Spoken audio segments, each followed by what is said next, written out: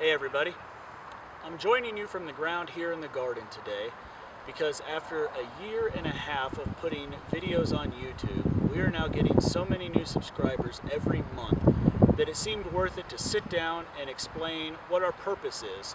And then we're also going to do a little experiment here in the soil. You know, when we started J&J Acres, we had no intention of having a profitable farm. In fact, our only desire was to reduce cost. We have five children and two adults in our household, and with that, we spend a lot of money on groceries every single week. It seemed to us the only way to make sure that we could curb those costs was to grow our own food. But we wanted to be very careful and not just end up spending our money going from the grocery store over to the garden center buying chemicals, fertilizers, and soil amendments.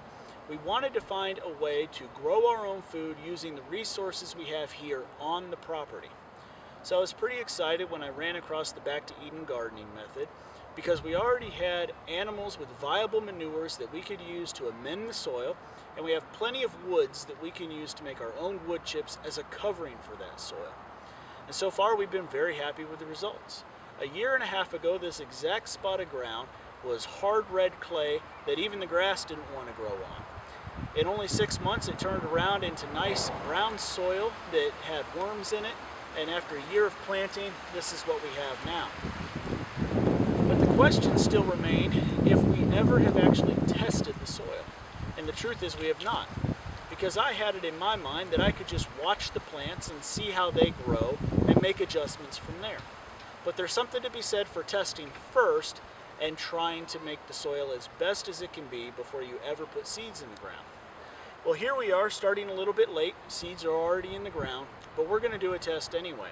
Now, I haven't hauled off and found the most expensive and accurate test that I could. I simply went down to the garden center and bought the only two soil tests that they have. One is this analog multimeter that allows me to test the light, moisture, and pH of the soil. And another is a chemical test that also lets me test the NP and K values as well as the pH. I decided to get both of them because I figured that they would play well off each other and we could verify some of the results. And I did like how the meter was going to give me an immediate result, whereas the other one I'd have to wait all night for the soil to be prepared before I can actually test it.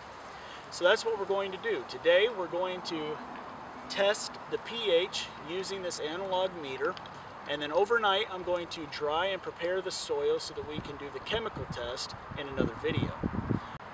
So let me tell you how we did this test. We followed the instructions exactly as we were told. We had to have a sample that had no rocks or grass in it. The only rocks on our property are part of our driveway, so that was easy, but I made sure there was no mulch that got in the way.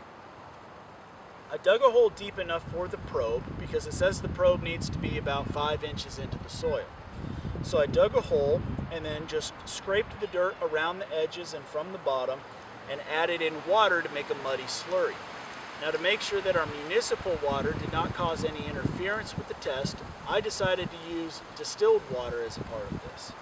Once I had a good muddy consistency, we inserted the probe into the mud, turned it to the pH mode, and then we had to wait 60 seconds before reading the results. Now the probe's not the easiest thing in the world to read. It has a dial meter on it similar to a speedometer in a vehicle and it seems to me that the needle settled directly between the 7 and 8.